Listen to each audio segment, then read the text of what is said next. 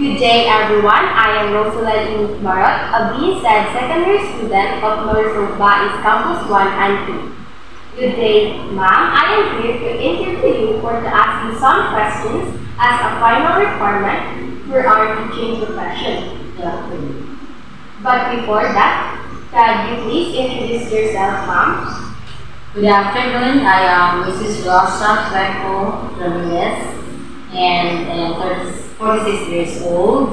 And I have been in the teaching profession for 15 years in the Department of Education and 6 years in the private, private uh, schools. Okay, thank you, ma'am. So now let us proceed to the interview. Here are the questions, ma'am. So, first, how do you consider yourself as a teacher? Could you please explain?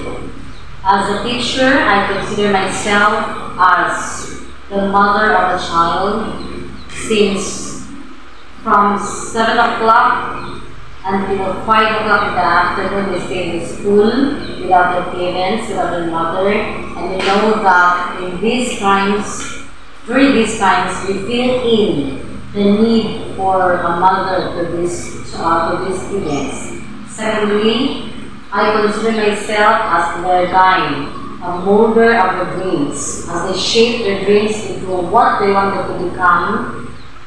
We, as a teacher, I, preferably myself, I like that I am part of their of their uh, future, of their what they are, what they will be in the future. And of course, I am the facilitator as their guide in and feeding the education that they need.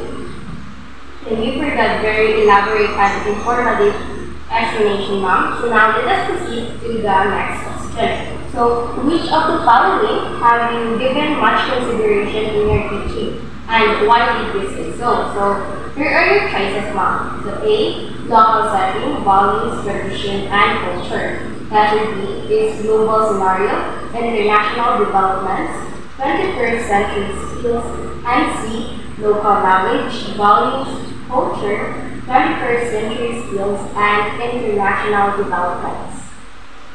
So we say that as a teacher, we are the developer, we are the molder of the youth, and as of this time, we call the this generation the generation X, I guess.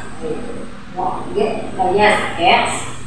Uh, we look into the global competition. And we look into the global uh, competition, we start from the local. So of course, that is why in our lesson, we have this what we call localized uh, curriculum. So that our students will understand in when during in your lesson you will connect what will ha what happened to the community and connect them to your lesson so that they will have a feel Uh, of their of uh, their being part of the community and with that the skills that they have enhanced during our teaching process because as of today uh, in today's uh, generation we do not only think of their education, of the academic, on the words, the letters, but we also look up to the skill. With this, to the scale, this will lead to the global.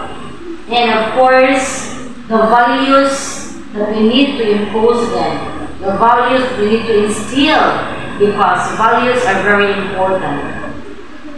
Especially that nowadays, our students are very exposed to social media.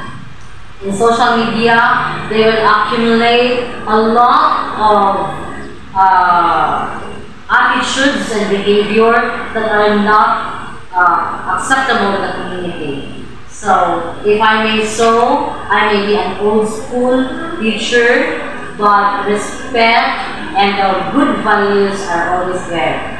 And we need also to preserve our tradition because it is that we are what we are today because of what our folks have taught us.